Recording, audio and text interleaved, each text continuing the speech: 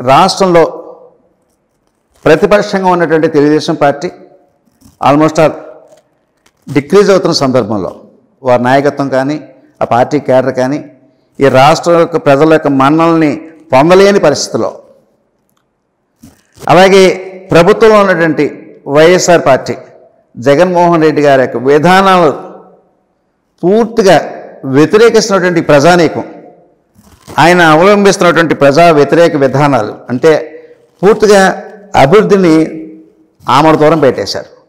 కేవలం సంక్షేమ పథకాలతో మాత్రమే ఓట్లు కొనుక్కోవచ్చు. ఈ సంక్షేమ పథకాలని అంటే ఇండైరెక్ట్గా ఓట్లు కొనుక్కొని కొనుక్కునే అవకాశం ఉన్నటువంటి సంక్షేమ పథకాలు. అందరికీ అకౌంట్స్ పదిహేను వేలు పదిహేను వేసు వేలు పాతికేసు వేలు వేసేసిన ద్వారా ఓట్ని ఓపెన్గా కొనుక్కు అని పర్చేజ్ చేసుకుంటున్నారు. ఈ ఓట్ బ్యాంక్ వల్లనే మనకు ఓట్లు వస్తాయనో ఆలోచనతో అయితే ఆ నమ్మకంతో జగన్మోహన్ రెడ్డి గారు అయితే ఉన్నారు. రాష్ట్రంలో ఏ రకమైనటువంటి కార్యక్రమాలని అమలు చేస్తున్నారో రాష్ట్రంలో ఏ రకమైనటువంటి పరిపాలన దారుణమైన దారుణాతి దారుణమైన పరిపాలన చేస్తున్నారో అది తిరుపతిలో కూడా అదే రకమైన పరిపాలన ఉంటుంది. తప్పితే రాష్ట్రంలో ఒక రకమైన పరిపాలన తిరుపతిలో వేరే రకమైన పరిపాలన లేదు. రాష్ట్రంలో ఇసుక పరిస్థితి ఎలా ఉందో తిరుపతిలో కూడా అదే పరిస్థితి ఉంది. గతంలో అరవై రూపాయలు దొరికి చీప్ నిబ్ ఇవాళ నూట అరవై రూపాయలు. పేదవాడికి ఒక పదివేల రూపాయలు చేతితోటి ఇచ్చి పాతిక వేల రూపాయలు ఇంకో రెండో చేతితోటి లాగేసుకున్న సందర్భం ఇవాళ. ఇవాళ ఎవరు హ్యాపీగా ఉన్నారు? ఏ సెక్టార్ హ్యాపీగా ఉన్నారు చెప్పండి? ఒక భవన నిర్మాణ కార్మికులు హ్యాపీగా ఉన్నారా? లేకపోతే ఒక రైతులు హ్యాపీగా ఉన్నారా? ఒక పేద మహిళలు హ్యాపీగా ఉన్నారా? వితంతువులు హ్యాపీగా ఉన్నారా?